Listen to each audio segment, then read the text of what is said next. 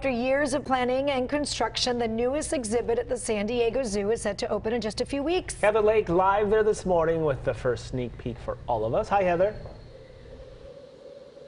Hey, good morning. Yeah, so this is really cool. So four different themed areas, two buildings. In the last hour, we took you over to the cool critters.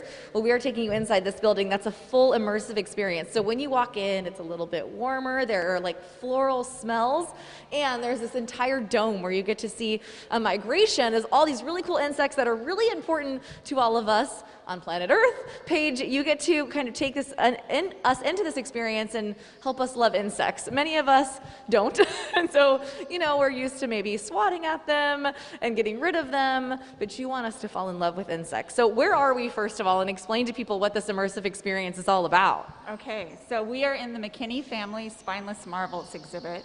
And this is a really, really big upgrade for insects at the San Diego Zoo. Um, our former spot was about 1,600 square feet, and this is 10,000 square foot. It is meant to address the PR problem that insects have. Yeah. Um, not as cute as a panda, uh, need a little bit of support. So right when you walk in, you're hit by all those smells of a meadow. You can see these beautiful insects migrating overhead. We've got dragonflies, butterflies, um, grasshoppers, Yeah. and then we even have a night scene for um, uh, fireflies, which are not migratory, but you can't pass up an opportunity to do fireflies at This night. This room is really cool. It makes me just want to like lay on the ground and start a yoga class or something. And I will tell you, being a boy mama, I have fallen in love with insects a little bit more in my last few years of my life. And so I think this is an opportunity for people to do that too. Let's walk and talk and show the rest of this really cool space. So there's two floors as well, so we can only show you one. But all of these little areas are right now getting worked on to curate a really cool bug that people will get a kind of up close and personal look at. That's right. And all of these, again, are intended to be like these warm, inviting spaces. They're green, they're freshly and lushly planted with real plants. So we want people to kind of wonder what's inside of them. Um, you can, you know, set up at one of the microscope station, stations and see a little bit closer what insects look like. Um, all of these habitats are going to have some of the smaller species in them. So we've got some praying mantises already in the last three. At the, the microscope is really cool. So you can get up close and, and look at them. I'm like, I want to take a peek. Hold on. Look at those.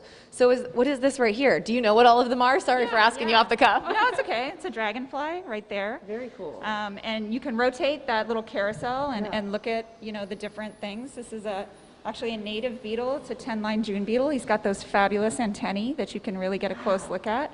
Um, special. Over on the left is what honeycomb actually looks like up close. Oh Everyone thinks it's like these just really simple, Yeah. really um, crisp lines, but it's actually kind of messy. Yeah. So This is really cool. Okay, I want to see some of these manises because you told me that there's a couple of these are our first. Uh, this is their our first critters. This is their new home, right? So let's take a look. I'm like, does that? I thought it was a part of the um, the plants, but it's not. Yeah, that's their whole program is hiding in plain sight. So these are masters of camouflage. These are ghost mantises.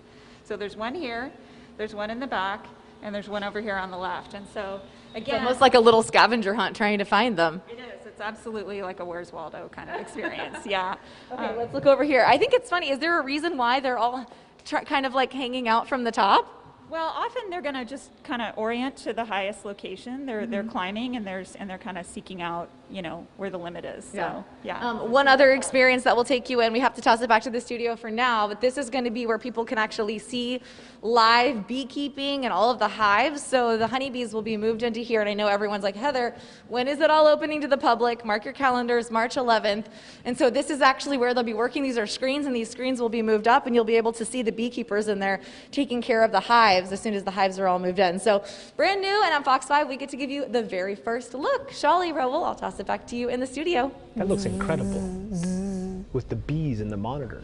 This I reminds me of Honey, I Shrunk the Kids. Oh my God, I love Yeah. that. I love that. So cool. Heather, thank you. Right? Look at that place.